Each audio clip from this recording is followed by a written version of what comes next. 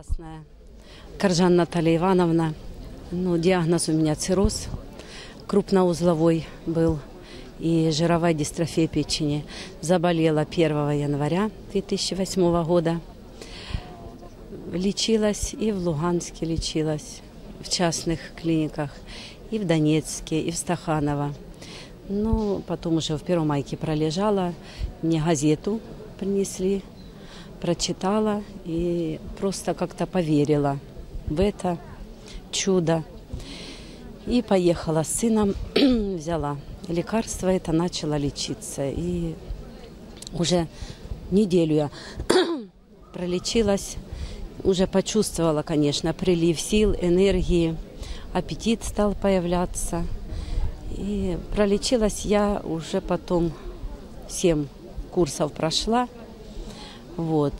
Ну, на диете я, конечно, до сих пор.